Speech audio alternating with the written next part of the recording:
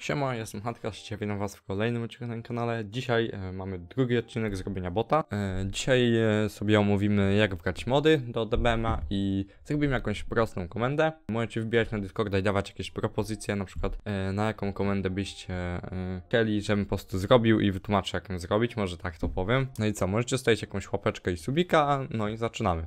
Mm, Okej, więc może zaczniemy od tego jak wgrać mody do DBM-a. Więc musimy wejść sobie na stronkę, gdzie te mody możemy pobrać, więc po prostu w wyszukiwarkę wpisujemy e, DBM mods, wchodzimy w pierwszy link. Ok, a więc jak już weszliśmy w pierwszy link, zjeżdżamy e, w dół i mamy takie coś jak Dowlands, e, to sobie pobieramy. W sumie nas obchodzą pierwsze dwa linki, więc one nam się powinny, to po prostu automatycznie wszystko nam się powinno pobrać. Następnie sobie otwieramy te jakby dwa nasze pliki, które pobraliśmy, bardziej foldery. Przechodzimy do DBM-a, klikamy projekt, Open Actions, ok.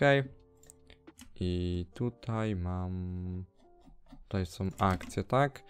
I tutaj po prostu, tutaj sobie przerzucamy. Mm, Ja to dam zamień pliki w miejscu celowym.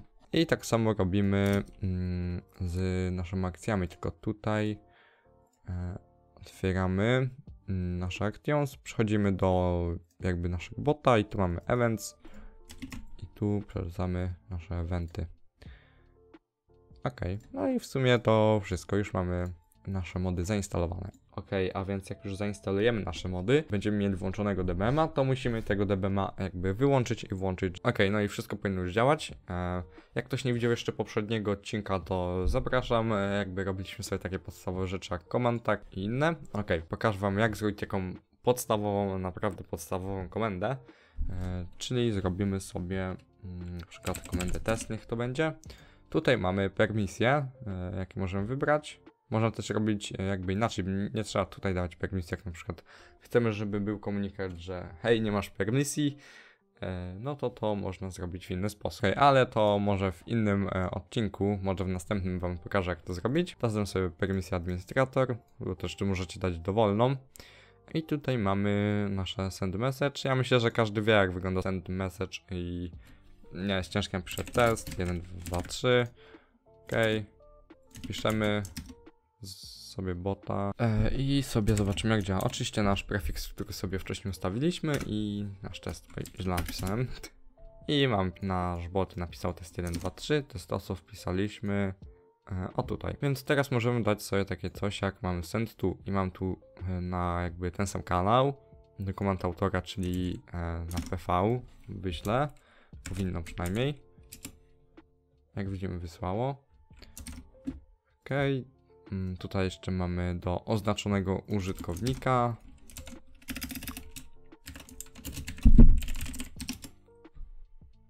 Też mi wysłało. E, tutaj co mamy jeszcze na oznaczony kanał i tu mam na defaultowy kanał. E, test i tu oznaczony kanał to dam sobie hashtag deto. Jak widzimy wysłało. Mm, Zajmiemy się tutaj Create Embed. Tu mamy nasz e, title, color, to są bardziej takie podstawy, chociaż tak naprawdę, żeby nasz embed działał, e, nic tu nie musimy wypełniać, tylko mm, musimy jakby zrobić taką, jak to powiedzieć, zmienną, żebyśmy mogli po prostu ten embed wysłać. To nazwę sobie, nazwę to embed po prostu, czyli dam 1, 2, no i w kolorze możemy wpisać random, to będzie randomowy kolor. E, tutaj mamy e, URL, czyli linki i jakby możemy też tu dawać awatary. Tutaj mamy jakby, tutaj mamy jakby timestamp. Tutaj możemy wybrać datę jakby z dziś, kiedy ta komenda dokładnie została wykonana. E, mamy, możemy ustalić sobie albo dać customową, tak? Ja dam sobie, na przykład niech będzie z teraz. No i okej, mamy stworzonego naszego embeda. Następna akcja to będzie dodanie jakby opisu, no nie wiem jak to powiedzieć, po prostu całokształt naszego embeda, o może tak. Tutaj dam sobie test, 1, 2, 3. Ok, następna akcja to jeszcze musimy sobie stworzyć. Jeszcze jedną akcję musimy zrobić. To będzie, żeby nasz embed po prostu się wysłał.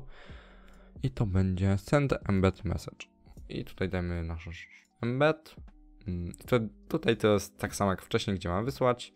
I tu mamy message content, to jest jakby wiadomość nad naszym embedem. E, To możemy sobie zapisać ten embed. E, To jest na przykład przydatne, ja wam teraz pokażę. Zapiszę tak sobie e, send na przykład. Mam zapisane. O, właśnie, możemy jeszcze dać takie coś jak set embed footer. Tutaj do embeda musimy dać i tutaj jest na przykład nazwa. To zobaczycie zaraz, jak to wygląda na komendzie. Mm. Uwaga. Tak to właśnie wygląda. Mamy 1, 2, 3, 2, 1. E, jak się nie mylę, to tutaj ta pierwsza linijka to jest autor.